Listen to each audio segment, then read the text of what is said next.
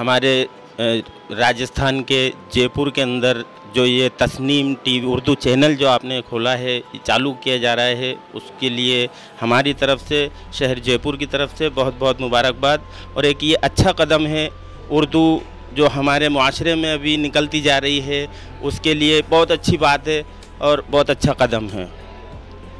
तो तस्नीम टीवी के लिए बहुत बहुत मुबारकबाद। हमारी तरफ़ से, जयपुर जामा मस्जिद की तरफ़ से और मैं अब्दुल मोईद की तरफ़ से अस्सलाम वालेकुम